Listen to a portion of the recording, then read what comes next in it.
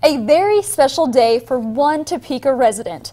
Mary Louise Matchan turned the big 100 today. Though her friends tell us she doesn't look a day over 80, Mary has had over 70 guests, or she had over 70 guests rather, arrive for her birthday at her home, very popular lady, where she was greeted by family and friends. Mary told us she couldn't believe she made it to 100 because there's been some close calls in the past 100 years.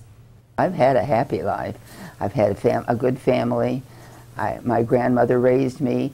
When I was born, I my mother got smallpox in the hospital, and so my grandmother raised me, and uh, she thought, uh, they didn't think I was going to make it. And she looks beautiful for being 100. She looks amazing. I hope I look that good. Yeah, now, here's birthday. something interesting. Mary also says that being selfless is the key to living a health, healthy, happy life.